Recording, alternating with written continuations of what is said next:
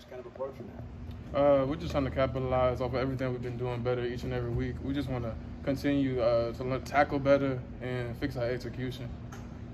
Your guy's been here for a little while now, and uh, kind of you appear to be kind of one of the emotional leaders on, on defense. I And so maybe talk about the passion you have for the game and for your teammates. Well, usually I, I, I try to lead by example, but I've been trying to get better at vocalizing and just talking to everybody, getting our younger and older guys all together. When you're rotating with Ty, what's, what's kind of the idea how y'all alternate and what situations you put in there? Well, we're really just trying to stay fresh. You know, we both know we're going to play.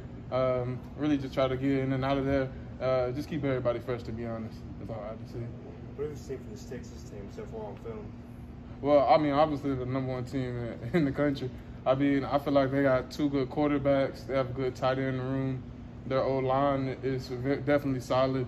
Uh, they got some good threats, uh, some speedy guys. Uh, they're a pretty good all-around team. You know, we're just gonna try to execute the best we can and try to make plays, capitalize on our turnovers. There've been some times too, like it seems like you guys get out leveraged at times on some of these run fits and things like that. Kind of, what are you seeing in that respect? Uh, really, sometimes guys aren't in the right fits. Uh, to be honest, it's not just what we're it's so-called the call that we're in. Uh, we really just need to execute the call better. To be honest. Is that kind of the same when it comes to pass rushing? Uh, well, yeah, I'd say our pass rush, some of our games, uh, depending on what defense we're in, we may have chips or certain things coming our way. Uh, we just got to try to uh, dismantle the quarterback as much as we can throughout the game. In practice, what's it been, what was it like going against uh, Michael Van Buren? Oh, well, we got to see both the quarterbacks, Mike and um, Chris.